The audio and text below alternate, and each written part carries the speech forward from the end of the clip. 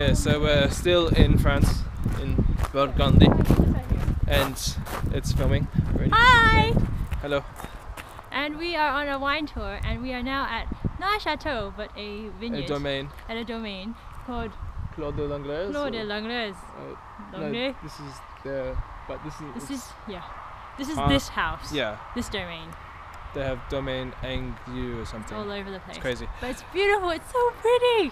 And they're gonna really cool. back to the car soon. Yep, and this is this is it. You can see, was it sunflower? No. it? Something. Canola. Canola. Canola flowers. where Yes. can- Where canola oil is made. Yes. So it's awesome. They And we had like six tastings already. and here. Awesome. And we got four early on, and we're having a lunch later, and we're doing more tastings later. It's so exciting. No, it's so exciting. It's so pretty, right? So pretty.